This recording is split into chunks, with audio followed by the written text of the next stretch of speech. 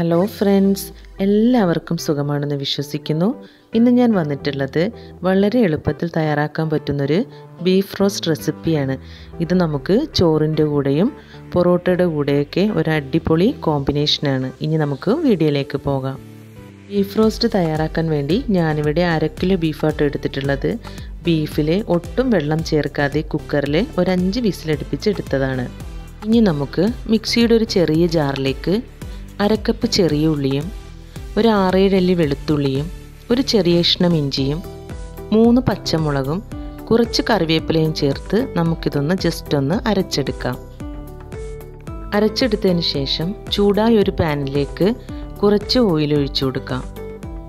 ചൂടായ എണ്ണയിലേക്ക് കുറച്ച് കറിവേപ്പിലയും നമ്മൾ ചതച്ചെടുത്ത മിക്സും ചേർത്ത് നന്നായിട്ടൊന്ന് വഴറ്റിയെടുക്കാം.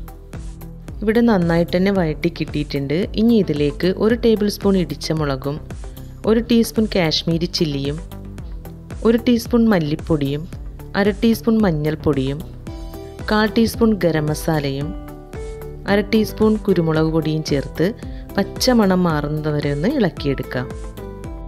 പൊടികളുടെ പച്ചമണമൊക്കെ മാറി കിട്ടിയിട്ടുണ്ട്. ഇനി ഇതിലേക്ക് വേവിച്ചെടുത്ത ബീഫും കുറച്ച് ഉപ്പും ചേർത്ത് നല്ല പോലെ ഒന്ന് മിക്സ് ചെയ്തെടുക്കാം.